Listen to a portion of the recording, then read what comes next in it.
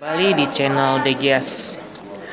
Pada kesempatan ini kita membahas tentang hal yang sering dipertanyakan yaitu benarkah wajah-wajah Yesus yang ada di setiap tempat itu sungguh-sungguh wajah Yesus atau bukan?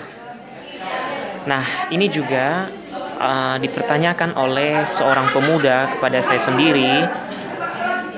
Pertanyaannya adalah mengapa gambar wajah Yesus berbeda-beda di setiap tempat? Kira-kira dari sekian banyak gambar itu mana yang sungguh-sungguh merupakan gambar wajah Yesus? Ataukah jangan-jangan tidak satupun dari gambar-gambar itu menyerupai wajah Yesus yang asli? Nah, pada kesempatan itu saya me, e, melihat pemuda ini mengutip surat Rasul Paulus kepada jemaat di Korintus 1 Korintus 11 ayat 14 yang berbunyi Bukankah alam sendiri menyatakan kepada kepadamu bahwa adalah kehinaan bagi laki-laki jika ia berambut panjang? Maka dari itu menurut pemuda itu besar kemungkinan semua gambar wajah Yesus yang kita miliki saat ini adalah palsu. Mengapa? Karena gambar wajah Yesus yang kita miliki saat ini selalu identik dengan pria berambut panjang. Lalu pada kesempatan itu bagaimana uh, atas pertanyaan ini bagaimana kita harus menanggapinya atau menjawabnya? Nah, ada beberapa cara yang dapat kita berikan pencerahan.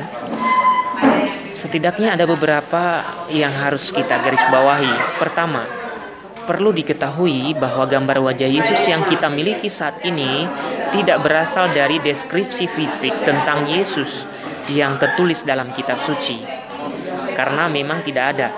Nah, gambar-gambar itu bersumber pada tradisi artistik dan ikonografi.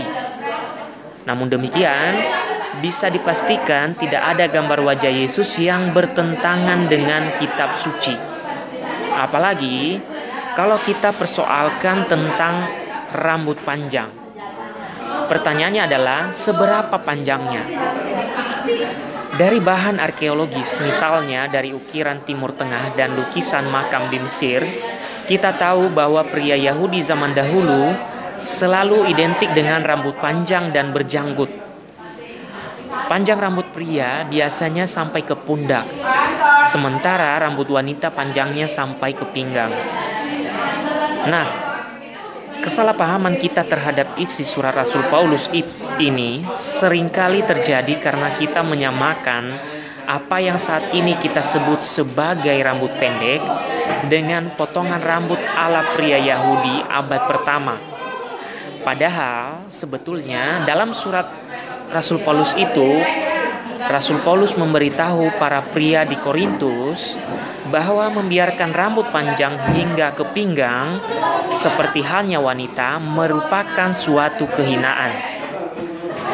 Kedua, sumber dari kebanyakan gambar wajah Yesus yang kita miliki saat ini berasal dari kain turin, yaitu kain yang dipakai untuk menutupi wajah Yesus ketika ia dikuburkan.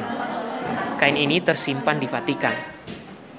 Ketiga, agama Kristiani berinkulturasi dengan budaya-budaya setempat, sehingga ada kalanya gambar wajah Yesus dari sumber yang sama, yaitu dari kain turin, dimodifikasi sedemikian rupa sesuai dengan budaya setempat tanpa menghilangkan esensi.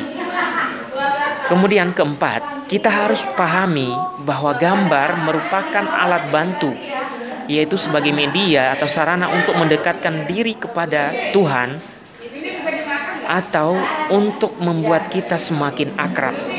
Nah, pemakaian gambar sebagai alat bantu seperti yang kita lakukan saat ini dalam gereja Katolik juga dilakukan pada zaman Salomo. Dapat kita baca dalam 1 Raja-Raja 6 ayat 1 sampai 38, 7 ayat 1 sampai 12, ayat 13 sampai 51. Sejauh gambar itu dapat membuat kita makin dekat dengan Tuhan, maka tidak ada yang patut dipersoalkan. Jadi, gambar wajah Yesus yang berbeda karena alasan inkulturasi bukanlah suatu persoalan. Karena gambar-gambar itu tetap mengacu pada tokoh yang sama yaitu Yesus Kristus Sang Penyelamat yang kita yakini dan kita imani. Sekian dulu pembahasan kita pada kesempatan ini. Salam sejahtera.